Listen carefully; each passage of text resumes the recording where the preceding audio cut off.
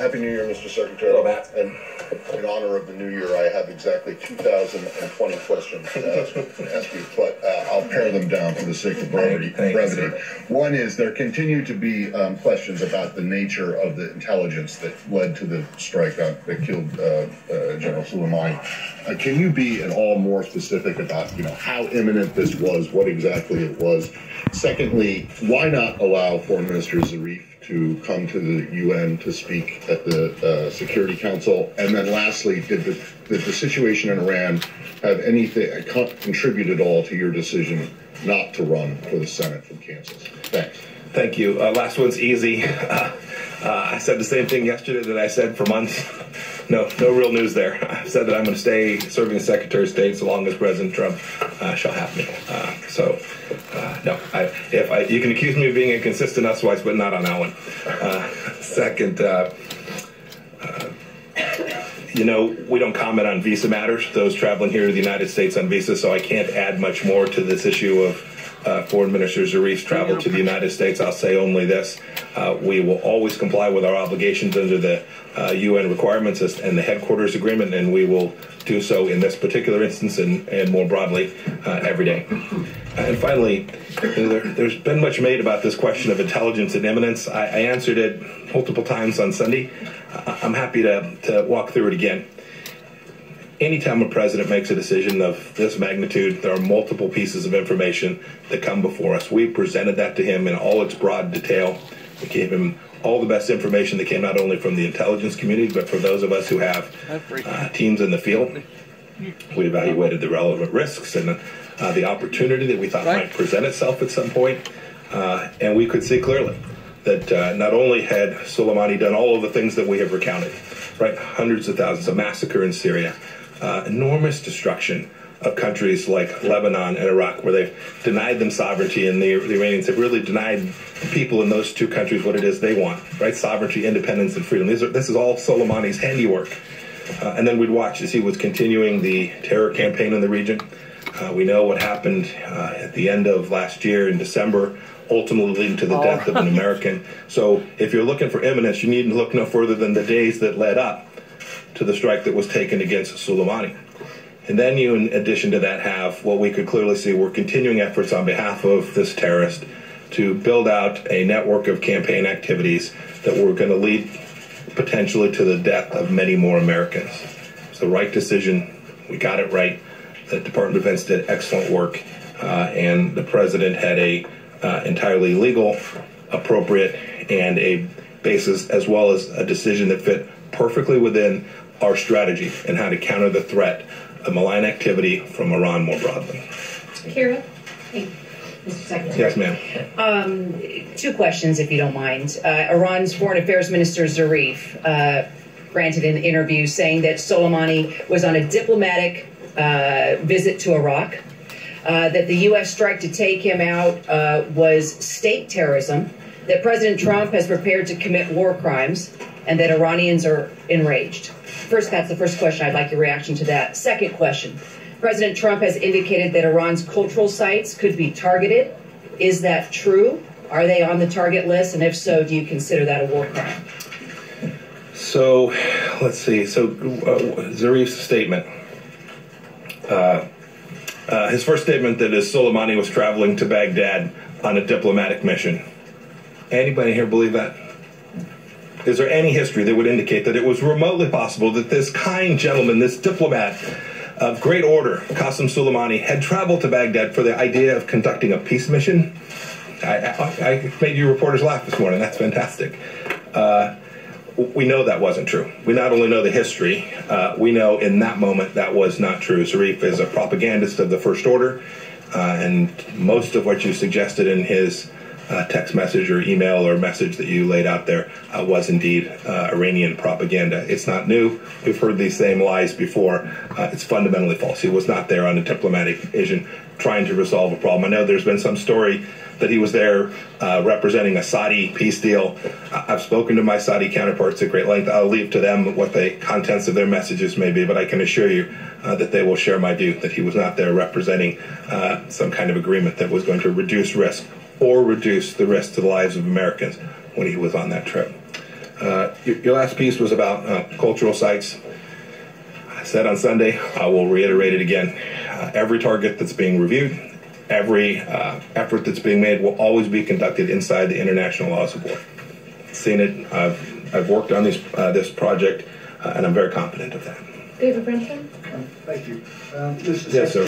Um, it, it's an election year, and you're now facing two nuclear-related crises um, in uh, with with with Iran and uh, North Korea. Are you, are, you optimistic about uh, resolving either of those without them sort of blowing up, at, so to speak, at uh, inopportune moments? And on the Iran front, Iran's breakout time when you came into office was considered to be about a year. Is it now longer or shorter? I'll leave it to the intelligence team to talk to you about the details of uh, Iran's breakout time for the moment. Uh, but President Trump could not be more clear. Uh, on our watch, Iran will not get a nuclear weapon.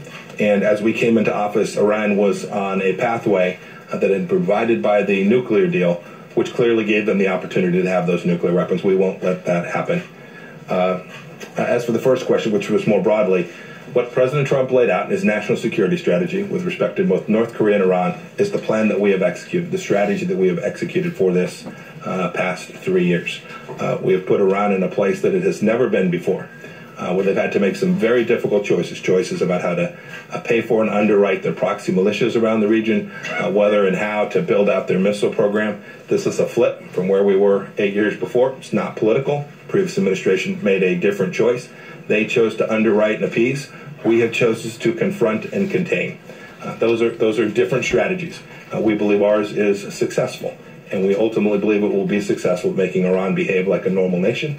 We'll deny them the capacity to build out their nuclear program and threaten not only Americans and our lives to keep Americans safe, which is our mission set, um, but also to create enhanced stability throughout the Middle East. We're confident that that's the case.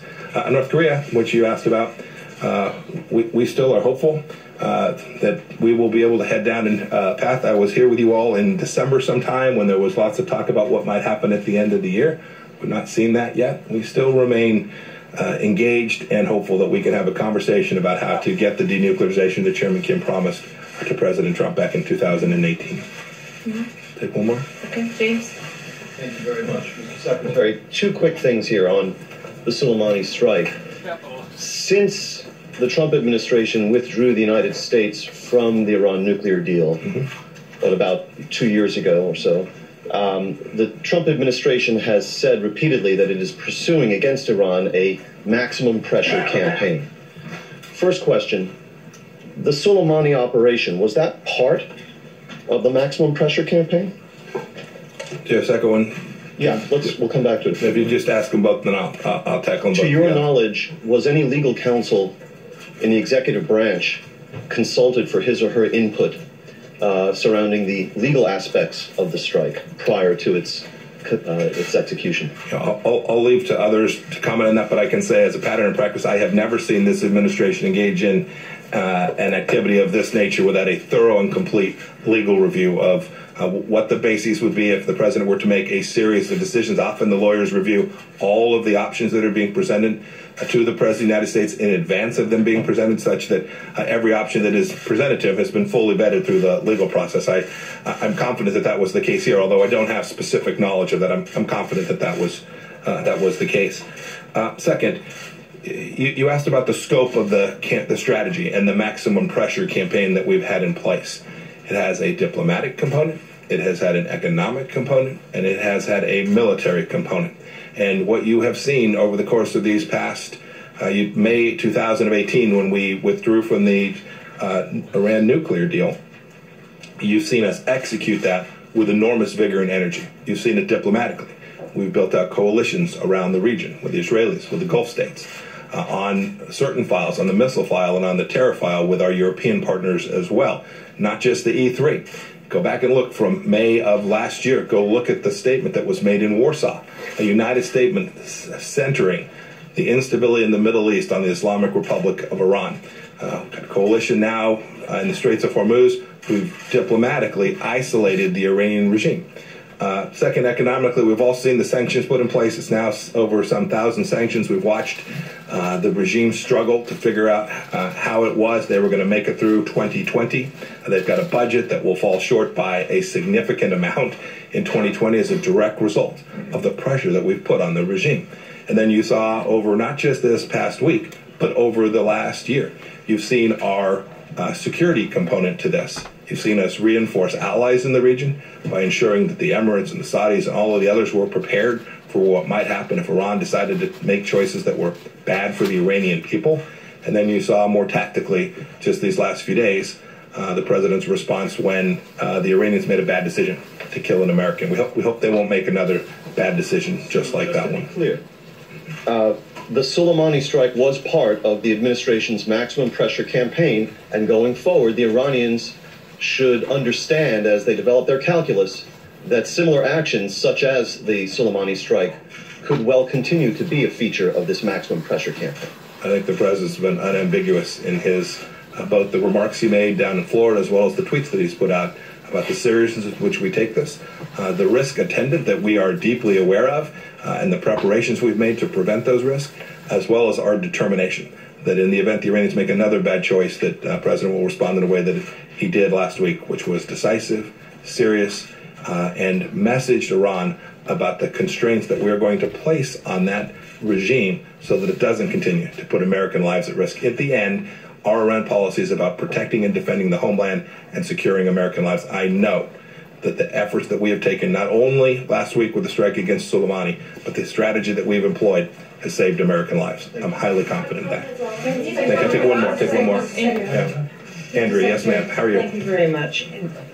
Uh, a question about the issue of cultural sites, because the president said on Air Force One coming back, after you had been on the Sunday talk shows, that they're allowed to kill our people, they're allowed to torture and maim our people, they're allowed to use roadside bombs and blow up our people, and we're not allowed to touch their cultural sites. It doesn't work that way. Uh, Defense Secretary Esper has made it clear that he would not follow an order to hit a cultural site would, would be a war crime. I'm wondering what, whether you would also push back in your advice or in your in your role. Uh, you're not really wondering, Andrea. You're not really wondering. Yeah, yeah well, the, the, well, the, the I, I, I, was I was unambiguous on Sunday. It is completely consistent with what the president has said. No, uh, we will we will take we will take every action we take will be consistent with the international rule of law and uh, you, you, the American people can rest assured that that's the case. Out, Let me tell you who's done damage to the Persian culture. It's not the United States of America. It's the Ayatollah. Amen. If, if you want to look at who Amen. has denied uh, religious freedom, if you want to know who has denied the Persian culture is rich and steeped in history and intellect, and they've denied the capacity for that culture to continue. If you go back and look at the holidays around Cyrus and Nowruz, they've not permitted people uh, to celebrate. They've not allowed people that they've killed, that Qasem Soleimani killed. Right. They've not allowed them to go mourn their family members.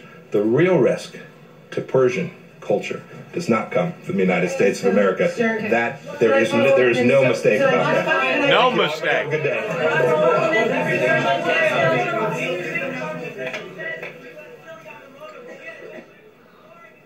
You have been watching Secretary of State Mike Pompeo taking questions from reporters, including our own Chief Foreign Affairs Correspondent Andrea Mitchell there at the State Department. A couple of headlines from the Secretary, and on that final question from Andrea, let's be clear here. Secretary of State Mike Pompeo is saying something different than what President Trump has suggested. The Secretary uh, insists that the U.S. will not conduct any action that operates outside the bounds of international laws striking a cultural site, as the president has suggested he wants to do, would in fact violate those international laws. Uh, and so there is a discrepancy there between what President Trump has said just on Sunday, seeming to double down on that, and what we are hearing from Secretary Pompeo. He also talked about the imminence of the threat from General Qasem Soleimani, who was killed in that U.S. airstrike last week. But just like National Security Advisor Robert O'Brien declined to offer actual evidence or proof of what that threat actually was. I want to go now to our team in the field, frankly, here in Washington and around the world. Peter Alexander back at the White House, our Tehran Bureau Chief Ali Arouzi in Iran, Chief Foreign Correspondent Richard Engel in Northern Iraq, NBC's Courtney Kube is here, and our Washington Bureau covering the Pentagon. Also joining us, former Secretary of Defense in the Clinton administration, William Cohen. Secretary Cohen, I'll get to you in a moment. But Richard, I want to start with you and with Ali Arouzi out in the region and how you think officials overseas have heard what Secretary Pompeo had to say here. Richard, to you.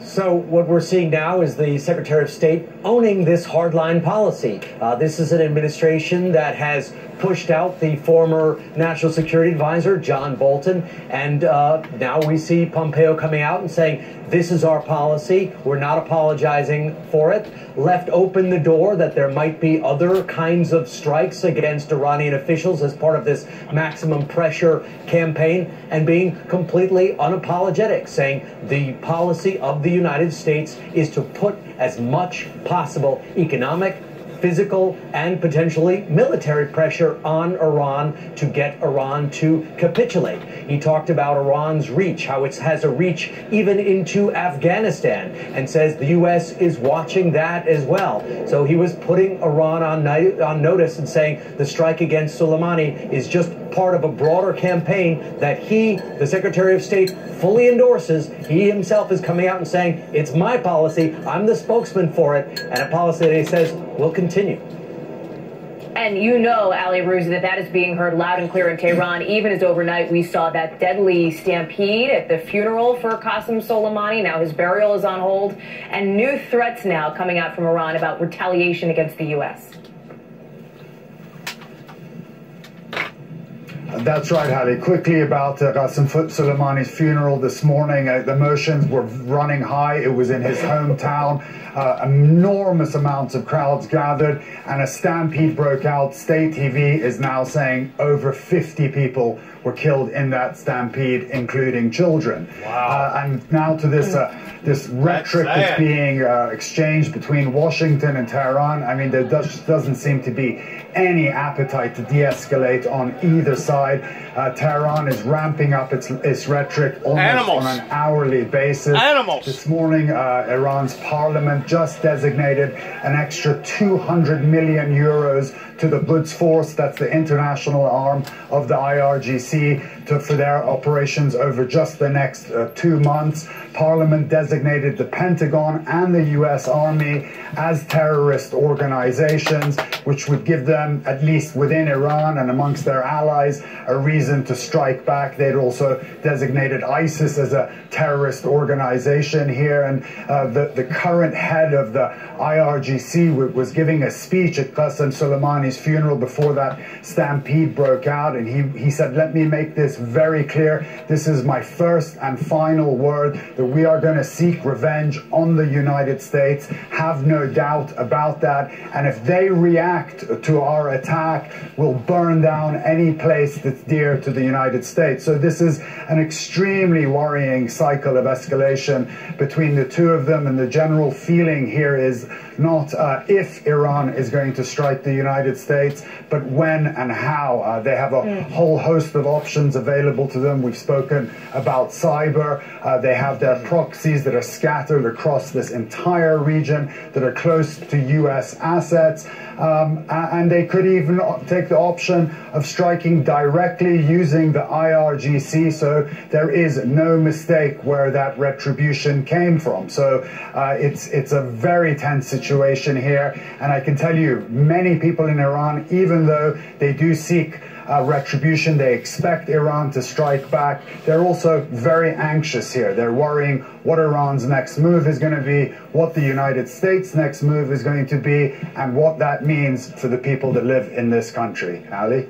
Secretary Cohen is with us here on set. Secretary, world leaders have called for a de escalation of this. What you heard from Secretary Pompeo in the last 20 minutes or so did not seem to move the ball closer to that. Right. It seemed to send the signal that um, if you uh, respond to what we've just done, we will hit you even harder, targeting other high level individuals.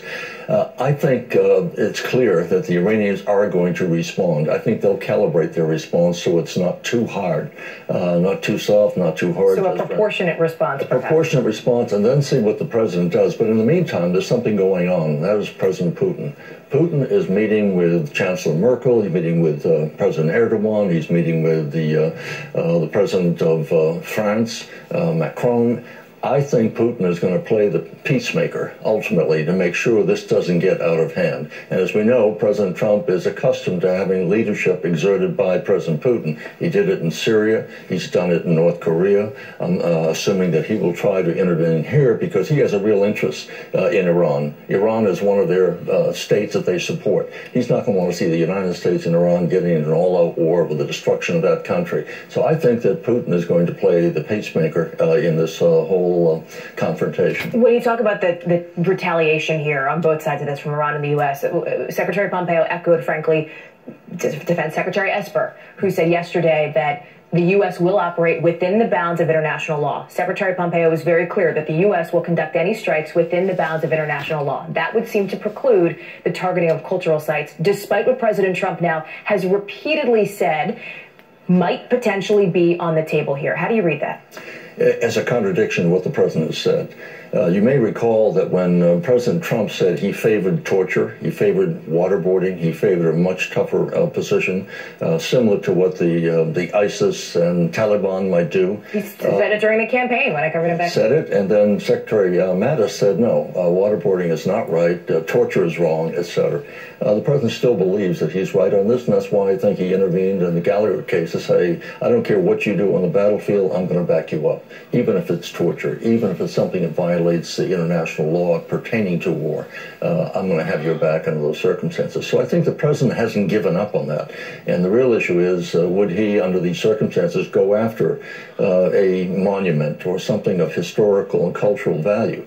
Um, the Iranians, under those cases, that case might go after something here. Uh, I won't get into the naming of what they might uh, attack, but I think we ought not to go down that uh, road. It may be just um, the, the, the, president being bombast instead of bomb bombastic instead of bombing, I, I, think would be the way I'd put it. Uh, I don't think the Secretary of State, given his uh, statement, and uh, Secretary of Defense would stand for taking out cultural sites after their statements have been made. Before I let you go, I want to ask you, too, about not just Secretary Mike Pompeo now, who has been, frankly, the public face of a lot of the messaging surrounding the Soleimani strike. You saw him out on all the Sunday shows this weekend. He is doing this briefing that we've been watching now for the last 25 minutes or so. You also have at the Defense Department their attempts to try to calm kind of a storm of their own making here, right? And this is a, the official letter to Iraq saying it was repositioning forces to leave the country, an hours long scramble that really only stopped after a urgent briefing was called. The chairman of the Joint Chiefs of Staff telling reporters it was a mistake. Mm-hmm. No decision to pull troops from Iraq had been made. What does this say to you about the state of leadership currently in this moment of potential international crisis? Uh, lack of coordination, uh, confusion, uh, dysfunctionality. Uh, number one, uh, the president wants to get out of uh, Iraq. He has pledged to get out of Iraq. Uh, the uh, parliament passed a non-binding resolution saying leave, and now the president saying we're not leaving. Well, I think what the uh, the commander on the, the field was saying, you know, we're not an occupying force. We are there by virtue of the invitation of the Iraqis. And when they say we don't want you anymore, we have to leave. And the president said, no, we're staying, uh, and you're going to pay for everything that we have done there. That's uh, pretty inconsistent with uh, uh, standard operating procedure. He might end up having to destroy the facilities there before we leave, but you cannot occupy a country mm. under international law. If they say go, we have no choice but to pick up and go if we're going to abide by the law. Secretary William Cohen, uh, it is excellent to have your perspective this morning on what is a very busy news morning. Let's stay on the Defense Department, head over to the Pentagon, where Courtney Kube is actually posted up here in our bureau, but covering the Pentagon. Courtney, uh, when you talk about one of the things you heard from Secretary Pompeo was this issue of uh, intelligence. He refused, declined to get into it, as we have seen, for example, National Security Advisor Robert O'Brien also declined to provide evidence, although O'Brien did go a step further than what we've heard, saying that the imminent threat that the administration has been talking about related to an attack on diplomats, essentially, in facilities. Uh, what else are you hearing? What else do we know? And, and where does this go from here? Yeah, so, and, and you mentioned a little bit about how uh, General Milley, the chairman of the Joint Chiefs, came out and spoke to reporters twice yesterday in this frantic and, and hectic scene that I, I've never seen anything like it, candidly, at the Pentagon. Uh, one of the things that he did really double down on, though, is the intelligence and his confidence in it. Uh, he said he, he stands 100% behind it and it's solid. Uh, he has no question about it. The one thing that I find is so is so interesting, whenever whether it's Secretary Esper or General Milley or even Secretary Pompeo just now talking about this intelligence, is whenever they're talking about it, they continue to go back to things that Soleimani has done in his past and, and emphasize that almost as much as they emphasize this concern about some sort of an imminent threat. There's no question. The U.S. military officials who I've spoken with say that Qasem Soleimani, he has been a threat. He continued to be a threat. But the reality is, the uh, what they cannot say with with confidence is that his death mitigates that threat in any serious way. So not just this this imminent threat that they keep talking about there in the region, which why can't he say it? He just said it. Why can't he say it? He just said it. That by taking out this guy eliminates a great deal of future attacks which we know. I tell you, people, man, people don't people don't listen good, or they just make up stuff in their own minds towards what they think that they heard. Uh, they they take things out of context. They they misinterpret uh, what people had just said. Um, some of these news uh, commentators are just awful whenever it comes to hearing what was just said. You don't add to, you don't take from, you don't try to categorize it or glamorize it or put it in other types of uh, of different categories. It is what it is. You say what you mean, you mean what you say had something to do with potential attacks in Lebanon, Syria, and Iraq, that may still be the case. That may still be an, an active and, and, and continuing threat. But not just that. Soleimani had built this network of armies all throughout the region. Look at that guy's eyes. Look into that man's eyes right there, and you're basically looking into the into the uh, windows of nothing but pure, mere agony and evil. Whenever you look into this individual's eyes, you're basically looking into the eyes of Lucifer himself, Satan himself, just like Hitler or some of the other tyrants that have went forth. This this man has caused so much grief and pain over to the Syrians and other surrounding areas it's not even funny, not counting the, the grief that he's caused in the American people's lives. This man is evil. Look at the darkness in his eyes. He's nothing but dark. And he's sitting there gleaming over. Ha ha ha! Ha ha ha! Look at me! I'm the evilest one of all. Yeah. We're going to have to initiate the policies of what they of what they um, implemented back years and years ago. And when I say years and years ago, I'm talking about thousands of years ago, to where whenever you go in and emerge up onto a society or a culture, you're going to have to basically take out the whole society because if you don't watch, they pop back up. They start out little, okay? They start out real little, and then the next thing you know, they get a little bigger, the next thing you know, they get a little bigger. And then the next thing you know, they get a little even bigger. You know what I'm saying? They keep growing, keep growing, keep growing. And unless you can stomp out the, the whole ideology in that culture, it's just going to come back and haunt you again. It's just going to come back and bite you again. That's the reason why that they done what they done back years ago whenever they'd go to war in the old Bible, in the Old Testament. They wouldn't just kill one or two of them. They'd take out the whole culture. Men, women, children, dogs, cats, chickens. They'd, they'd take it all out. Because they did not want nothing to come back and hunt them later on.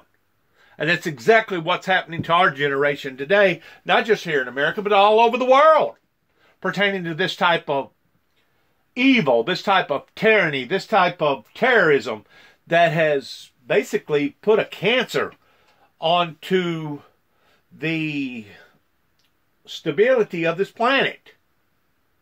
The stability of this planet. Not, not, not counting the stability of this country, but the stability of this planet. Thank God we got somebody up there that can see through all this and can understand that evil needs to be eradicated. You stomp out evil. You don't allow for evil to, to grow and to tolerate. Because if you give somebody an inch, the next thing you know, they're going to take a mile. And if you give them a mile, the next thing you know, they'll want to take two miles. And then they'll want to take 10 miles, and then they'll want to take 100 miles. And before long, they have taken you over. They have literally uh, taken you over just as a cancer or some sort of uh, a bad plague. And that's what we're seeing of the developments thereof towards all this wickedness and evil over there in that area. And of course, it talks about it in the Bible pertaining to Balaam and Balak.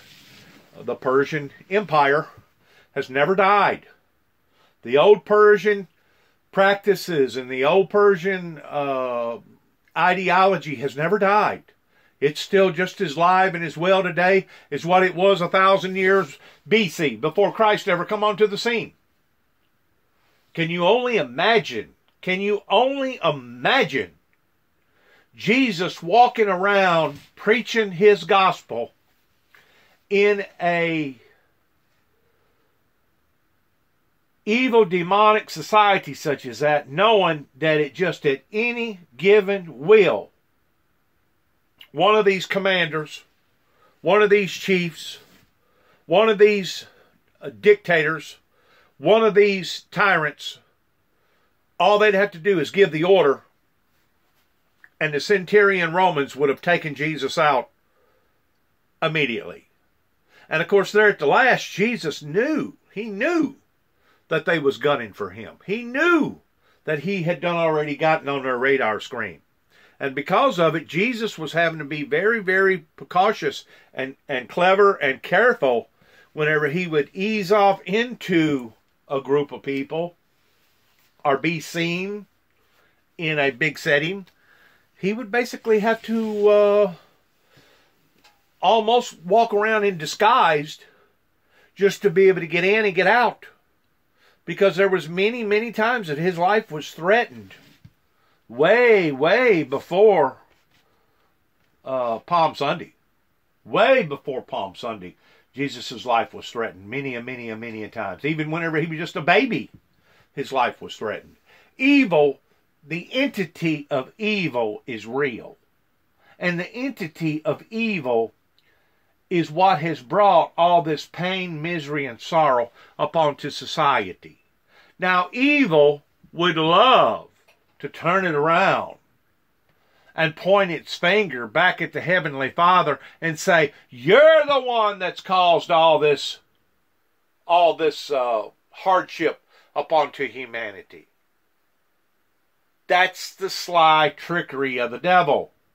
That's what the devil's job is to do, is try to deceive people and get get them to believe uh, in a in a ideology that isn't real or isn't so, isn't true.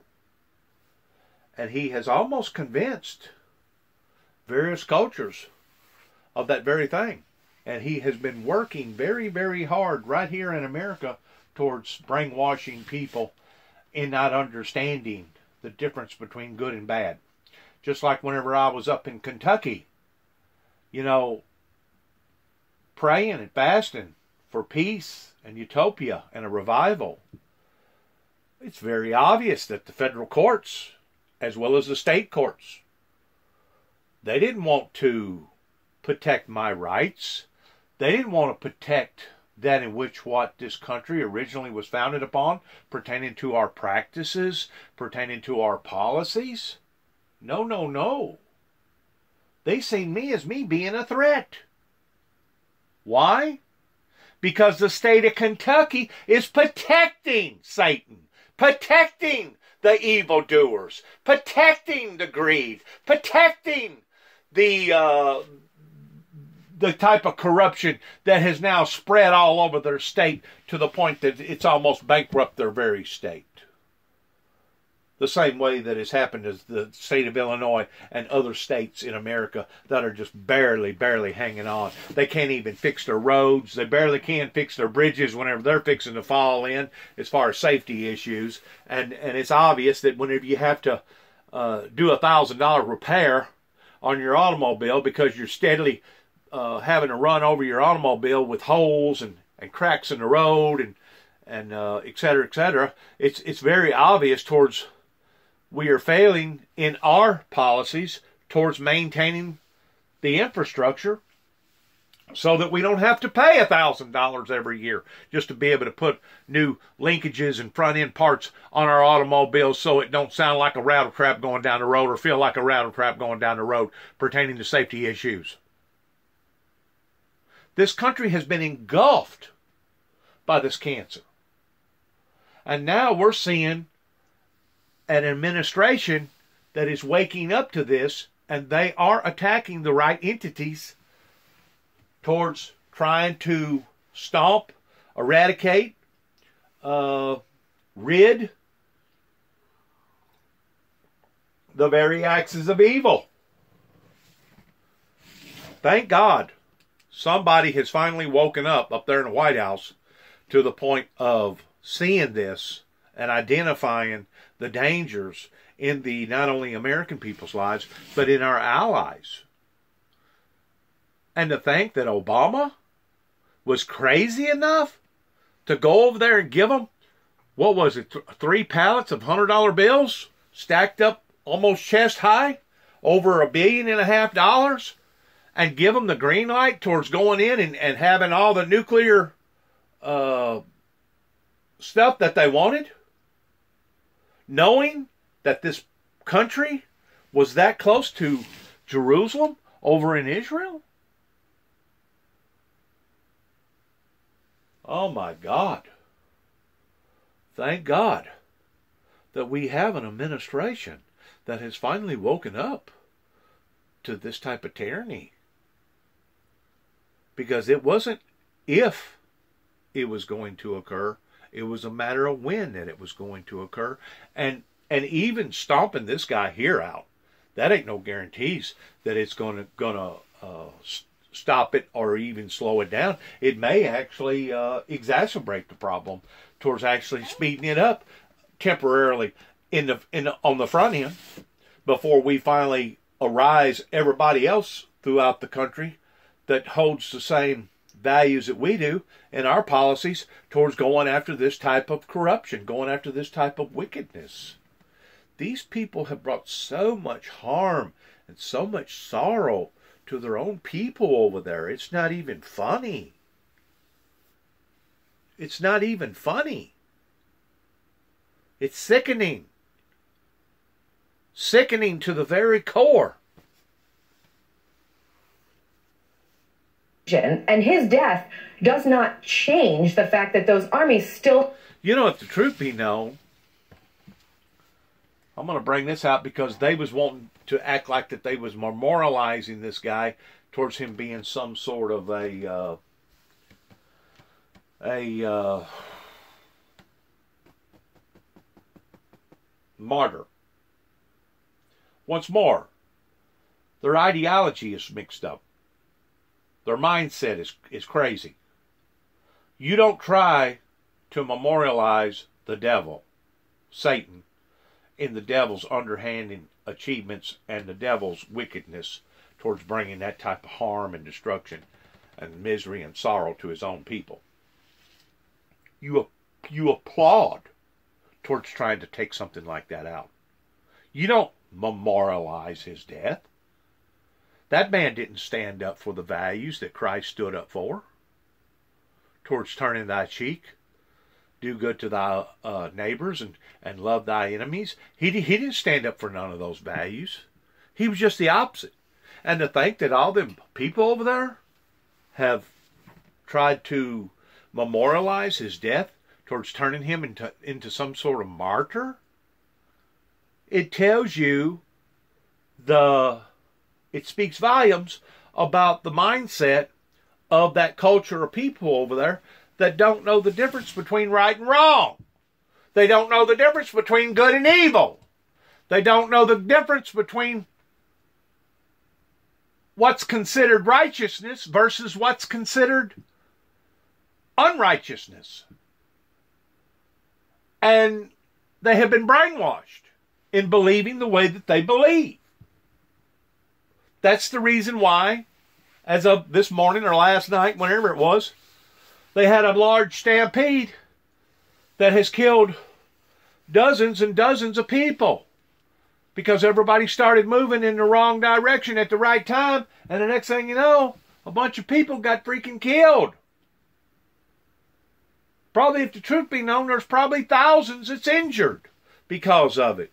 You can't put a group of people together like that and think that you're not going to have some sort of problems, especially whenever you have the mixed crowd of men, women, and children.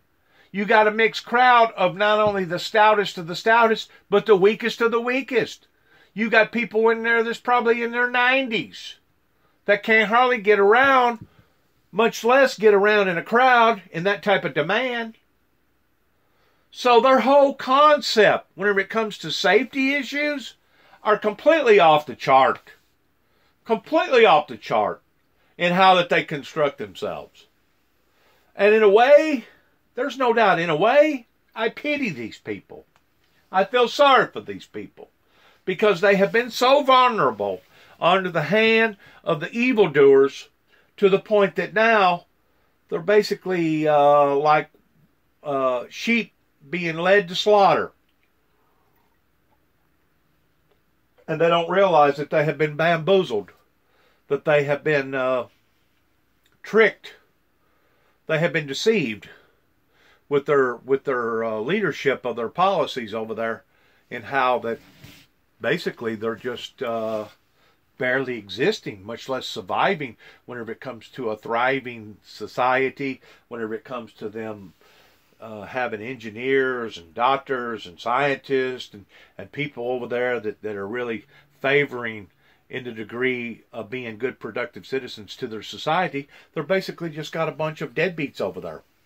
A bunch of people that wants to just basically lounge around and not hardly do nothing. People sleeping under shade trees. People still getting around on camels. People still wanting to uh, be at one another's throats all the time. It's a very, very sick, toxic environment. Extremely, extremely horrible. One of the most horriblest, I think, on the planet. There may be one other horrible, uh, one other uh, area that's a little bit worse, and uh, that would be over there in that same area where they've got something like two or three million refugees right now. Uh, that's another sad, sad, toxic environment that's over there in that same area. God, our Heavenly Father, did not intend for His people to be somebody's floor mat or to be somebody's whipping post. God, our Heavenly Father, did not intend for the wicked to keep us under subjection to the point that we was nothing more than slaves to the wickedest of the wicked. That's not what God intended. Whenever it says in the Bible to let the, the wheat grow with the tares, the wheat representing the good, the tares representing the evil, that actually meant on a equal scale. Similar towards how our democracy over here in America is supposed to be run. In other words, the true, humble, Christian is supposed to have just as much right of going up and down that road that he's paid his taxes on as the heathen that don't believe in God and rather pray to the devil. The true Christian in America has just as much right of going into a restaurant or going into a theater and enjoying his or herself the same as the atheist or the agnostic. Over there, it's not that way. No, no, no. Over there, they tell you how to live, where to go, what type of enjoyment you're going to have, what type of enjoyment you're not going to have. You're being dominated by a tyranny type environment that is very, very toxic. And to think that those people are subjected to that type of rule, uh, being held under bondage like that, is just mind blowing, especially in the 21st century, in the year 20 and 20 that we're in. So thank God for the administration that we have in power right now that can recognize these things and can try to stomp out this wickedness and this evil that's going to bring that much more harm and ridiculation and pain to not only the Americans but to all the other people who are good people that these people want to dominate and, and bring cruelty, cruelty to the godly, to the righteous had their marching orders and that they are they will continue to see the United States and allies in the region as a continued threat. And I just have to point to, you know, we had been hearing last week, we reported that the 173rd out of Vicenza had been activated for a potential threat in Lebanon. Well, in fact, they got their deployment orders. A group of them did. They will be moving into Lebanon in the coming days. So the, the threat against the U.S. U.S. diplomats there in Beirut continues, Hallie. Courtney Kube in Washington, Ali Arouzi in Tehran, Richard Engel in Iraq, Peter Alexander at the White House, Secretary Bill Cohen. Thank you all for being with us this morning. I appreciate it. We have a lot more to talk about as it relates to Iran, but we also have Congress back to work today facing dual crises, not just with the international crisis overseas, but with impeachment as well. We're live on Capitol Hill with the latest as one of the president's former key advisors agree to maybe testifying. Look at all these people. Just stop and look at all these people. This little square right here, from here to here, maybe a little bit wider, from here to here. There's 100 people right there. There are 100 people right here, all squeezed up, shoulder to shoulder. They don't look like it, but they are. Because you got children in here that you can't see. Little people. Okay, so if you got to take that right there, and then that right there, and then that right there, that right there. What you're looking at right here especially whenever it goes all the way back here because the little squares get actually get smaller. The further away you go, the squares get smaller. So what you're actually looking at right here, just right here in this picture right here, give or take 2,000 people. At least. That's being conservative. 2,000 people. You put 2,000 people in a environment shoulder to shoulder heel to toe, you are asking for trouble on the level of a stampede. You're asking for all kinds of diseases and all kinds of different types of viruses to be exposed from one individual to another. That's going to just be a cesspool of harm and hurt to now all the rest of them that didn't have a disease has caught a disease off somebody else that's sneezing, coughing, rubbing up against them. That right there is a very, very toxic, sick environment of having to put that many people together like that under those circumstances. Under those circumstances. And of course, whenever you hear about stampedes, it just goes to show you that they're not doing things in an orderly fashion. You know, whenever you got just as many people that's walking one direction as you do people that's walking in the opposite direction, you got total chaos. It'd be like trying to put a bunch of people out here on the interstate and everybody just do just travel any way you want to go. Be just total chaos. God help them. God help those people over there. God help us. God help the people over in Australia that's that's seeing biblical proportion prophecy coming true as far as devastating their their land. That's just it's horrifying to watch stuff like that. It's horrifying.